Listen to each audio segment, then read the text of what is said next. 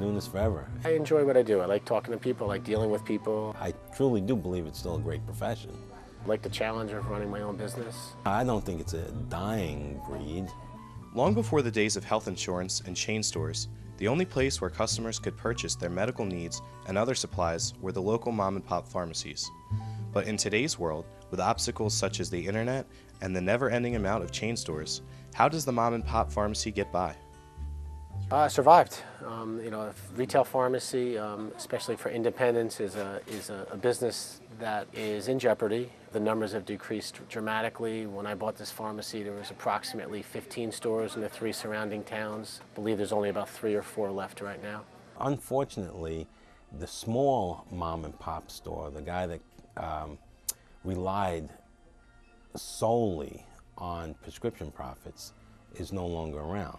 The business has changed dramatically since I've taken over in the sense that when I first took over, only a small percentage of people had health insurance and insurance cards. Now 98 to 100% of the people have them, at least 98. In the beginning, about 90% of patients paid cash for their prescription drugs. And slowly, state governments starting to pay for the poor, help people pay for their medicine who don't earn enough money to be able to afford it. And that was the start of insurance companies and states getting involved. What's attacked the mom and pop stores is the, uh, is the insurance plans. And that's changed the business dramatically because with those insurance plans and those insurance cards, the amount of profit that we've realized has been uh, dramatically cut back and continues to be cut back almost yearly. The insurance companies have squeezed our margins to the point where it's really not profitable to fill prescriptions any longer. The other aspect of the insurance company is they started setting the prices of what the pharmacists would get reimbursed for the drug. The federal government did their own study and showed that the reimbursement to the pharmacist for generics on average would be 36% below what the pharmacist's actual costs are.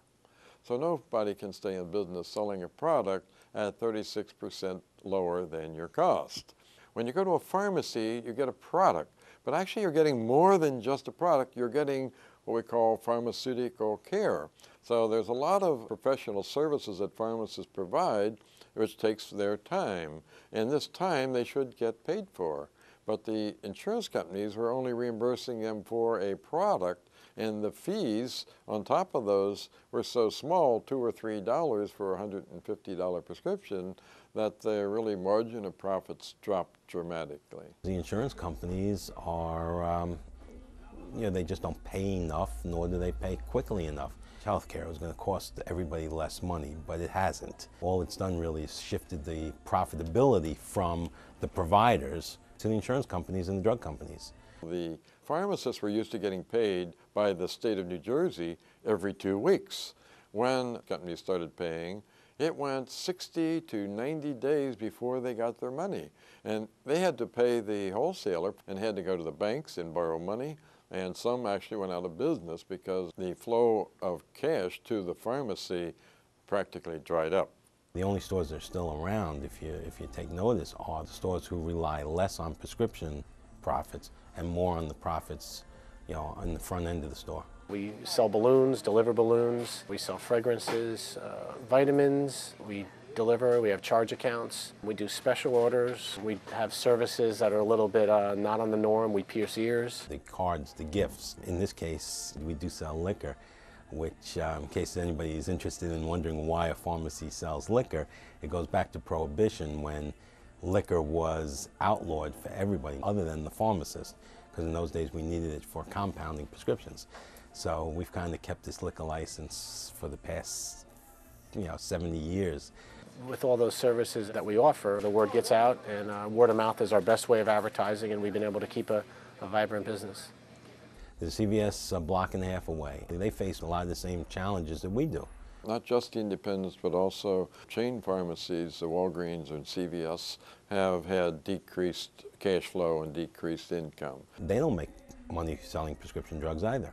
The prescription insurance plans continually cut, cut, cut, where we're unable to sustain those losses, unlike a chain store that has investors, and uh, they have, you know, they sell milk, dairy goods, automotive supplies, you know, other things that we just don't have the square footage to sell. We're 6,000 square feet. On average, they're 12 to 15,000 square feet because they're reliant on non-prescription sales also. Now they have a little more capacity to handle it since they have a large business out front and they're bigger corporations. I think because CVS is a little bit bigger and a little bit more powerful, they can probably work out better deals with some of the vendors. I know for a fact Hallmark cards, we sell Hallmark cards, but the cards that we don't sell at the end of the season, we cannot return for credit. We pack them up, we save them for next year. CVS is capable of sending back for credit what they don't use. I don't look at them as the, uh, the enemy. You gotta remember, most people have an insurance plan and they pay the same copay regardless of what pharmacy they go to. The same dollar amount is paid at any store. That's kept us alive. So, uh, you know, they can still come to this independent pharmacy and pay the same dollar amount under their insurance plan here that they would at a, at a large chain store or even a, a superstore. I think that's a major advantage for the independent pharmacist as opposed to the chain store pharmacist. The independents do offer a lot more in service. There's usually a lack of help where we ha always have an abundance of help. Home delivery of prescriptions, very few, if any, chains do that. Their own credit card type um, function where there's a, a built-in interest penalty where we don't do that. Nothing against the pharmacists that work for chain stores, but very often they rotate. Somebody can go in this month and have a prescription filled by one pharmacist, go back the following month, and that pharmacist will no longer be there. So that's one of the advantages we have is that you'll always find the same pharmacist there, and very often he's the owner of the store. Takes a little bit more pride and a little bit more caring goes into it, and he takes better care of the customer. When I go into someplace like uh, CVS, like for my daughter, they really don't care. I feel they don't care about you. It's very impersonal, and, uh, and that's why I don't go. They're not just uh, they're not just customers, not just patients. They're friends. Our connection with the customers is prime in the independent pharmacist. The pharmacist is the most accessible healthcare professional. We, have now been serving four generations of, of customers. We'll recognize people, know their names, um, and, and, just uh, give them a warm, a warm uh, home feeling. You know. You can walk in and talk to the pharmacist about your medication. They will be happy to answer questions for you. With service and appreciation, the mom and pop pharmacy has been able to survive despite the growing threat of health insurance and the expansion of chain pharmacies. But the question still remains, will the mom and pop pharmacies be able to continue on this trend? Independent pharmacy is, uh, is in jeopardy, but it, it, seems like it might be coming back. It's still a great business and you can still make money if you're willing to work. The number of independents within the last 18 months has actually increased slightly. You can go into research and development, you can go into uh, sales with pharmaceutical uh, companies, but I, I, truly still love the uh, retail end of it. You know, being able to speak to the people, you know, being part of the community. It's a, it's a great feeling to um, be welcomed in a community and have them appreciate everything that you do.